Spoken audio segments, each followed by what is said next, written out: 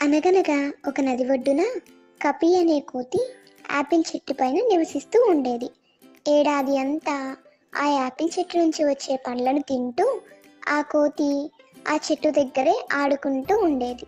ఒకరోజు ఆ నదిలో నుండి ఒక మొసలి నది ఒడ్డుకు వచ్చి యాపిల్ చెట్టు నీడలో విశ్రాంతి తీసుకుంటూ ఉంది.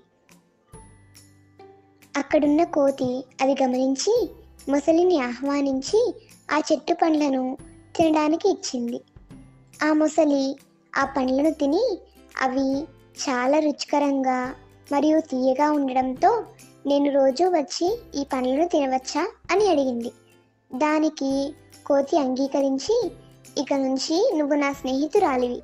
నువ్వు ఎప్పుడైనా వచ్చి తినవచ్చు అని చెప్పింది. ఆ రోజు నుంచి ప్రతిరోజు ముసలి అక్కడికి వచ్చి ఆ పండ్లను తింటూ ఉండేది.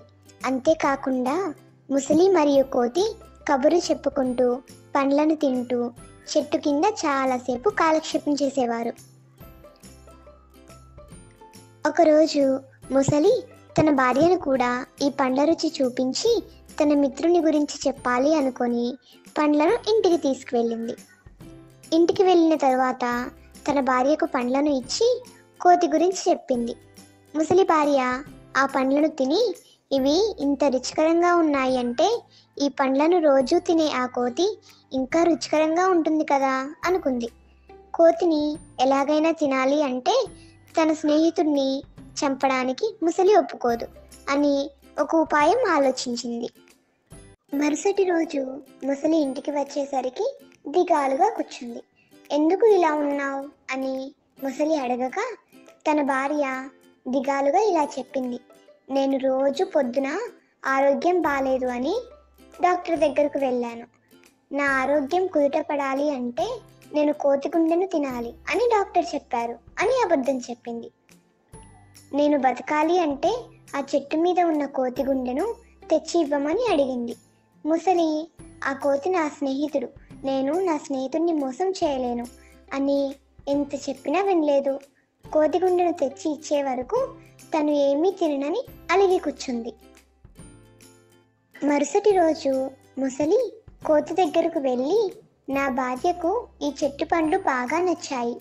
నిన్ను ఒకసారి కలిసి నీకు ధన్యవాదాలు చెప్పాలి అనుకుంటుంది అని చెప్పింది. కోతి చాలా సంతోషించి ముసలితో పాటు తన ఇంటికి వెళ్ళడానికి అంగీకరించింది. కోతి ముసలి వీపు మీద కూర్చుంది. ముసలి కోతిని తీసుకొని కొంత దూరం వెళ్ళాక నదిలో చిన్నగా లోతుకు వెళ్ళడం మొదలుపెట్టింది. కోతి అది గమనించి భయపడి ఏంటి మిత్రమా నదిలోకి మునుగుతున్నావు? ఇంకొంచెం మునిగితే నేను చనిపోతాను అని చెప్పింది. అప్పుడు ముసలి మాట్లాడుతూ క్షమించు మిత్రమా నా భార్య నీ గుండెను తినాలి అని ఆశపడుతుంది. నేను నిన్ను చంపక తప్పదు అని చెప్పింది. కోతి భయపడి కొంచెం సేపు ఆలోచించి సరే మిత్రమా నీ భార్య ఆశపడుతున్నట్లుగా నా గుండెనివ్వడానికి నాకు అంగీకారమే. కానీ నేను నా గుండెను నది ఒడ్డున చెట్టు పైన పెట్టి మర్చిపోయాను. మనం వెనక్కు వెళ్ళి గుండెను తెచ్చుకుందాం అని చెప్పింది. ఆ తెలివిలేని ముసలి అది నమ్మి కోతిని వెనక్కు తీసుకెళ్ళింది. ఒడ్డుకు రాగానే కోతి చెట్టుకున్న చెట్టుపైకి ఎక్కి కూర్చొని ఎవరైనా గుండెను మర్చిపోతారా? వెళ్ళు నీ భార్య దగ్గరకు వెళ్ళి తన భర్త ఒక తెలివిలేని దద్దమ్మ అని చెప్పు అని ఎక్కిరించింది. కోతి తెలివిగా ముసలి భార్య నుండి తప్పించుకుంది.